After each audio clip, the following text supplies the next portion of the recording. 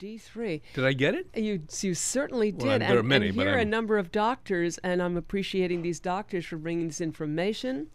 And this is Dr. Mercola, MD, uh, bringing this out. And he says another influent avoid flu shots with the one vitamin that will stop flu in its tracks.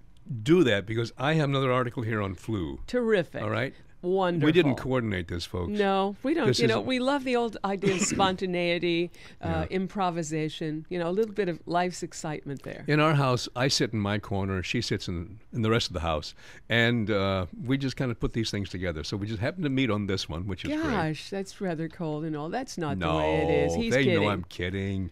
Anyway, he says another influenza season is beginning, and the U.S. Center for Disease Control and Prevention, the CDC, strongly urges Americans to get a flu shot. In fact, he says the CDC mounts a well orchestrated campaign each season to generate interest and demand for flu shots.